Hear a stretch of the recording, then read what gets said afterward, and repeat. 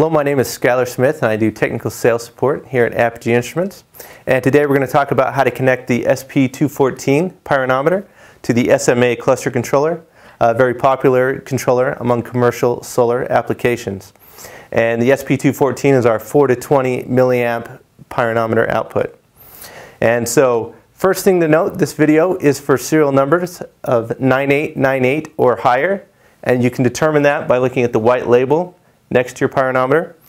If your sensor looks like this, where it has the old uh, tailboard like this, and its serial number is below 9898, that is on a different video, and you can find that on our website, apogeeinstruments.com. So the first thing to note uh, when you're getting ready to wire up the sensor is the distance uh, from your power supply right here uh, to your X8 terminals over here. And so if, in our case, uh, we needed to take off some additional of the shield here, of the outer jacket. And so we went ahead and took off about eight more inches because it comes with eight inches already.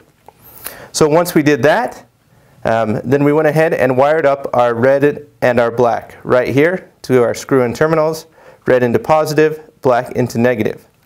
Then the next thing we did is we had to take a jumper wire and we went from the negative of the power supply over here to A3 on the X8 terminal. And then we take our white signal output and we run that into the A2 terminal. And then we took our shield and run that into A4.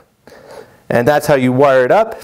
To check and verify that that's wired up correctly, you can push down on the controller until you see analog current input. In our example, you can see it says 4.01 milliamp, which with our studio lights is what we would expect in here. Then if we push down two more times, we see that it says insolation at 1 watts per meter squared.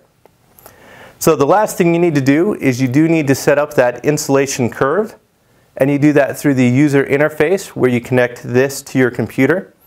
And once you're in that user interface, then you go to the meteorology section and then you click on environmental, and then you click on irradiance sensor, and you change the range to be from 0 to 2000 watts per meter squared. And then again, it's a 4 to 20 milliamp sensor, and so you change that there as well.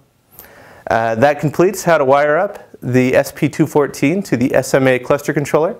Uh, be sure to watch our other video on the PV100, which explains how to do how to connect the ambient air temperature sensor as well as the back of panel temperature sensor to the SMA cluster controller. Thank you for watching.